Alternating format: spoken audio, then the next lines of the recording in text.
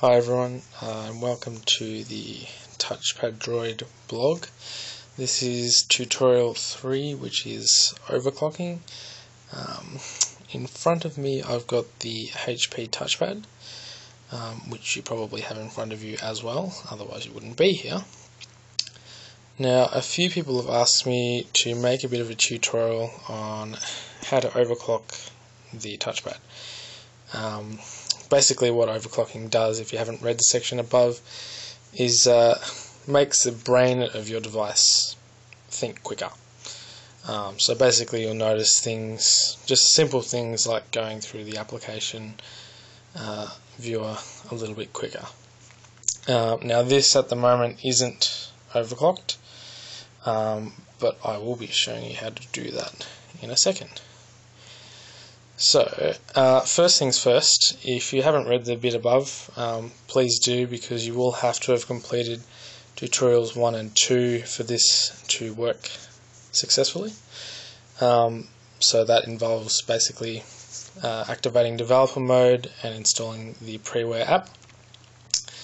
Um, and also please read the warning as well as uh, you know this is fairly risky um, and potentially you could completely stuff up your device and uh, I wouldn't want you doing that without knowing that there is a chance that that could happen. Uh, Alright, so uh, once you've read all that, we'll go on to the next bit. So what you got to do, just go to your Preware app uh, it's a bit difficult to see on this, but uh, just you probably know where it is. Tap on the Preware app. Wait for that to load. Uh, the other thing was you've got to be in an active Wi-Fi zone for this to work, um, as it has to download the new kernel off the internet. So if you haven't got Wi-Fi, uh, stop the video, go get your Wi-Fi working, and start it again. Um, Alright, so once you're in the Preware app, um, basically, it's as simple as going to available packages, to kernel, and the one you want is stable, and the kernel that we're going to be installing is called UberKernel, uh, in brackets touchpad.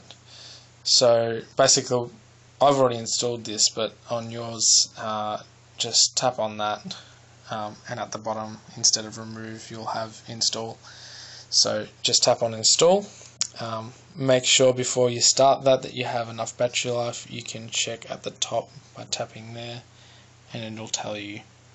Like mine says 86% um, preferably over 50% would be good in case anything stuffs up. So just keep that in mind.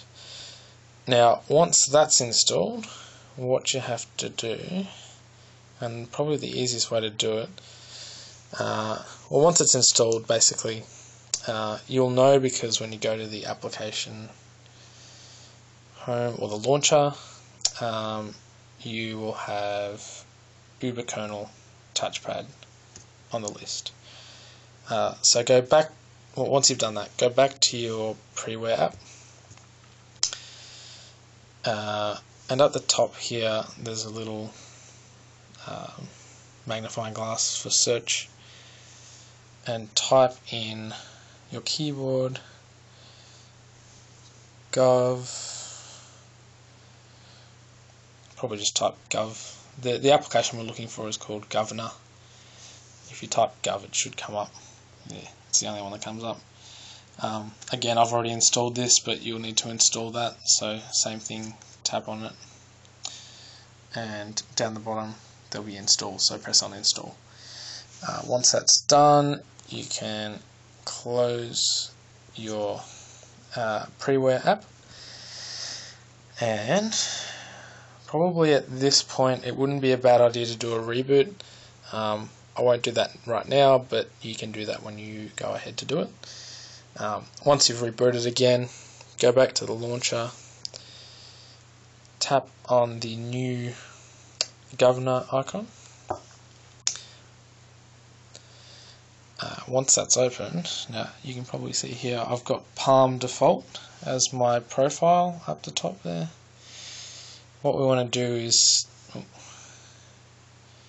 basically tap on the profile and uh, what you want to do what I've what I've actually done is I've made a new profile called performance but the one that's there is called on demand TCL1512 um, I'd probably recommend that you tap on that or select that one um, because it's the, basically the uh, best overall performance um, and battery saving profile that there is. So uh, if you do want to make new profiles, you can go to advanced settings, change your clock speeds, and then save it as a new profile. Uh, but I can make a video on that later if people enough people want that um, shown to them. Um, basically, what you'll notice then is when you're doing uh, multiple things, opening up multiple applications, minus Facebook, which is quite slow actually, regardless of what clock speed you're at. Uh, well, that ran alright then.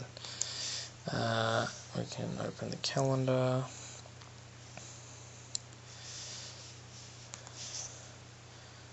Open up the web browser. Just open up everything you can and you'll notice that still runs as good as when nothing's open. And if you do run games, um, you may notice that the games will run a little bit faster as well, such as Angry Birds. So hopefully this video has helped you out a bit. That's a bit annoying. Um, hopefully this video has helped you out a bit. If you have any questions, please feel free to comment uh, on this post. Um, also, uh, if you have any other questions about other things that you'd like later on, um, please feel free to comment on any of the posts that I've got on the blog.